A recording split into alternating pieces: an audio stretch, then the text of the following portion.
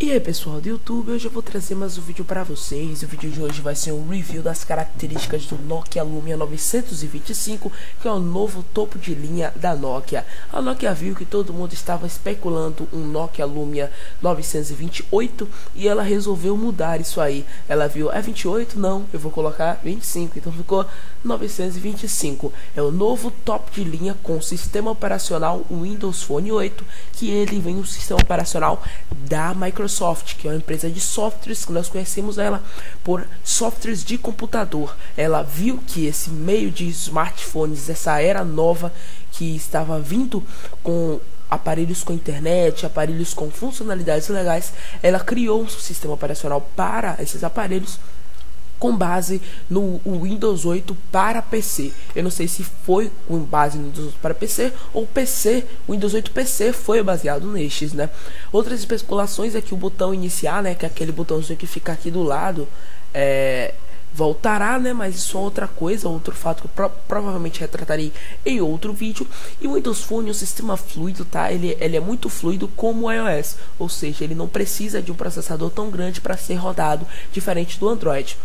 Outra coisa também é que ele é um sistema operacional também bem dinâmico e bem personalizado como o Android. Eu acredito até que o Android é mais personalizado, pois você pode tra transformar o Android num Windows Phone, só que o Windows Phone não pode ser transformado em um Android, é, não em sistema operacional, mas em termos de personalização e imagem, tá bom?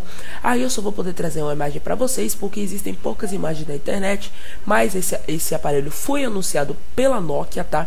925 traz especificações inovadoras e uma câmera espetacular. Não podemos falar mal dela, só podemos dizer, é a melhor câmera do mercado. É uma área que a Nokia está investindo. Ela trouxe sistema operacional operacional bom com a melhor câmera do mercado. É, são câmeras causais. Então, são seis câmeras físicas, seis sensores físicos. Então, é uma câmera perfeita, tá? Eu acho que isso é qualidade. Outra coisa também que a Microsoft exige ao utilizar o seu sistema operacional, é, o portador do sistema, ou seja, o aparelho de tal operadora da Nokia, por exemplo, deverá portar é, até tal processador e tal qualidade de tela. Então, para ter um Windows Phone, ela exige tal padrão de aparelho para que o sistema operacional dela seja bem falado. Você não pode colocar uma, um processador com um Microsoft Windows Phone que irá travar no sistema. Ela só exige um tal faixa etária de equipamento de qualidade. Redes 2G e 3G, se vocês quiserem saber, deixe nos comentários, tá? São é, informações que eu não queria retratar nesse vídeo, porque é mais conf confrontar com vocês, trazer opiniões, tá?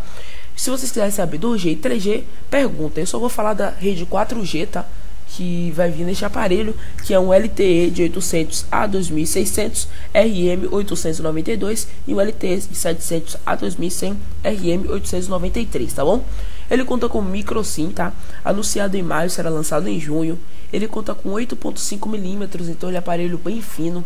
É, ele não vem para confrontar em especificação com um iOS ou um Android, justamente por isso, porque eles são é um sistema novo, mas está trazendo ótima qualidade, está com ótimos clientes aí, tá? Ele tem aí 139 gramas, tá? Então, ele é um aparelho bem leve, não vai sentir nada. Ele conta com a tela AMOLED capacitiva touchscreen, 16 bilhões de cores, nada a falar dela, ótima tela em termos de proteção. A resolução que pode confrontar, pois não tem resolução HD, então é, é uma resolução de 768 por 1280 resolução HD, mas não tem Full HD, que confronta também o lado das telas retinas que são resoluções de 1182 por 800 e alguma coisa, né? Eu não estou pegando aqui agora, mas essas resoluções é, é, tem da Apple se confrontam com a tela retina, que é uma tela que mesmo com essa resolução baixa, traz ótima qualidade e outros benefícios à tela que deixam o iOS com uma das melhores, uma das melhores telas do mercado. Vendo agora o Galaxy S4 com resolução Full HD, Vendo que agora o Galaxy S4 tem esta resolução tão grande, nós podemos talvez achar que a retina possa ser retina, possa ficar para trás, mas eu acho que não. Eu acho que dá para ter um bom combate em termos de tela entre iOS e Android, sendo que o Android está portado como Galaxy S4 o melhor do mercado, é, que está com esse sistema operacional, tá? Corning Gorilla Glass 2 é uma outra tecnologia de proteção e vem com a Permotion HD Clear Black Display. Display então é ótima qualidade aí que ela colocou nas suas telas do Nokia Lumia 925. Em alertas vibração MP3 Ringtones, ele conta com entrada 3.5 para o fone de ouvido, Double Headphone Such and é, Enhancement então é uma tecnologia. Outro ponto super fraco, ele não possui slot para cartão microSD, possui 16 GB de memória interna e 1 GB de memória RAM. Se vocês quiserem saber também GPRS e o EDGE, pergunte nos comentários, tá? É coisas assim de rede, também não vou ficar falando. Ele em Wi-Fi, ele possui o Dual Band, o DLNA, o Wi-Fi Hotspot, tá? E ele conta também com um Bluetooth 3.0 a 2DP, que não é mais avançado, mas também não traz uma coisa antiga, tá bom? Ele conta com micro SD, tá? Que é aquele 2.0. E aí vem o caso, né? A câmera dele que é muito boa, 8 megapixels de resolução 3264 por 2448 pixels, causais óptico. Então, tá uma tela causais. Então, isso é muito bom. Ele conta com um estabilizador de imagens autofocus e dual LED flash, ou seja, ele tem dois flashes. Então, isso é LOL, tá? Isso é muito bom. Ele conta com sensores per view e tecnologia touch focus, então é uma das melhores câmeras do mercado e pode chegar aí até combater com câmeras reais. Então é muito boa a câmera dele que grava vídeos em Full HD, 30 frames por segundo e a câmera frontal tem 1.3 megapixels, grava vídeos em HD 720p, 30 frames por segundo. Ele conta com o sistema operacional da Microsoft, que é o Windows Phone 8. O processador dele é um Qualcomm MSM 8960 Snapdragon ótimo processador, tá? Se trazer inveja a concorrentes, pelo menos em processador, a gente não pode dizer que ele é o melhor do mercado de longe, porque é claro que é o Galaxy 4 não por ter processador de 8 núcleos, mas por desempenhar um Exynos octa-core, tá? E ser assim. Ele tem um processador dual core de 1.5 GHz Great, tá?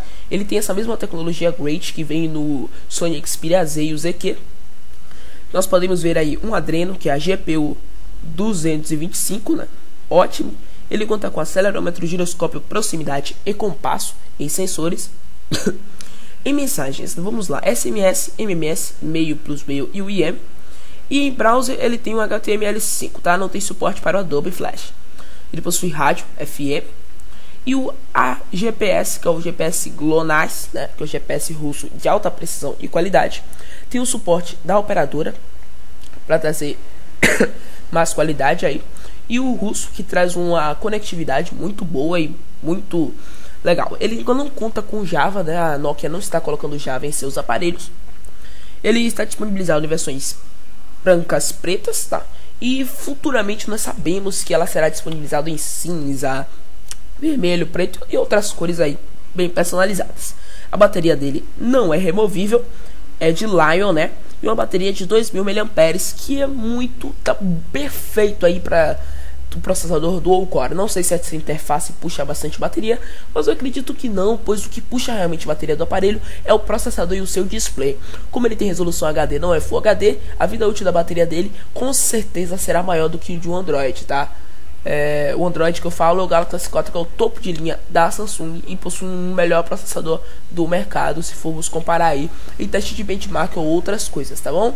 Então é isso pessoal, o vídeo chega ao final, se gostou deixe o seu like e favorite o vídeo, se inscreva no canal para receber as nossas próximas atualizações, por favor deixe nos comentários qualquer dúvida deste aparelho, tentarei responder, a minha iniciativa de fazer vídeos comentados, trazendo especificações, é, coisas teóricas do aparelho é tentar tirar o máximo de dúvidas possíveis e que vocês possam visitar. Tenho vídeos do Samsung Galaxy S4 em meu canal que conta com processador Exynos octa-core e outras coisas legais, funcionalidades, é, outras informações e coisas muito boas que eu estou disponibilizando para vocês, tá? Muitas pessoas me conhecem pelo David Tech New que está com um canal com 756 inscritos, tá? Mas agora estou com o meu segundo canal e vamos lá, vamos a rumo aí a inscritos legais, tá? Até o próximo vídeo. Beijos, abraços e esse foi um vídeo comentando sobre o Nokia Lumia 925 anunciado ontem pela grande e fabulosa Nokia. Abraço, eu fui!